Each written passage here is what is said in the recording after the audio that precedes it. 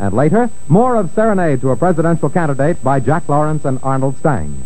But now to Ronald Reagan in Hollywood.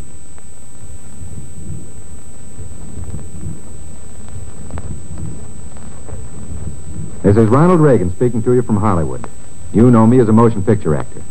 But tonight I'm just a citizen, pretty concerned about the national election next month, and more than a little impatient with those promises the Republicans made before they got control of Congress a couple of years ago. I remember listening to the radio on election night in 1946. Joseph Martin, the Republican Speaker of the House, said very solemnly, and I quote, we Republicans intend to work for a real increase in income for everybody by encouraging more production and lower prices without impairing wages or working conditions. Unquote. Remember that promise. A real increase in income for everybody. But what actually happened? The profits of corporations have doubled, while workers' wages have increased by only one quarter. In other words, profits have gone up four times as much as wages. And the small increase workers did receive was more than eaten up by rising prices, which have also bored into their savings. For example, here's an Associated Press dispatch I read the other day about Smith L. Carpenter, a craftsman in Union Springs, New York. Seems that Mr. Carpenter retired some years ago thinking he had enough money saved up so that he could live out his last years without having to worry. But he didn't figure on this Republican inflation, which ate up all his savings, and so he's gone back to work. The reason this is news is Mr. Carpenter is 91 years old. Now, take as a contrast the Standard Oil Company of New Jersey, which reported a net profit of $210 million after taxes for the first half of 1948, an increase of 70% in one year. In other words, high prices have not been caused by higher wages, but by bigger and bigger profits. The Republican promises sounded pretty good in 1946. But what has happened since then, since the 80th Congress took over?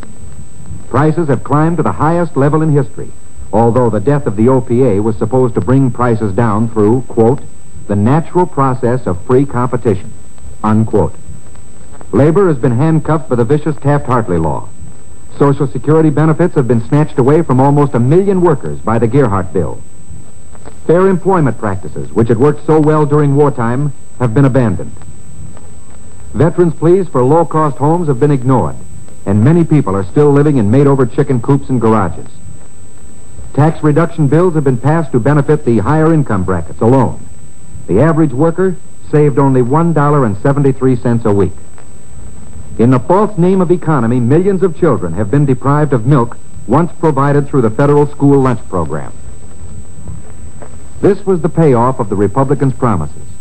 And this is why we must have new faces in the Congress of the United States. Democratic faces.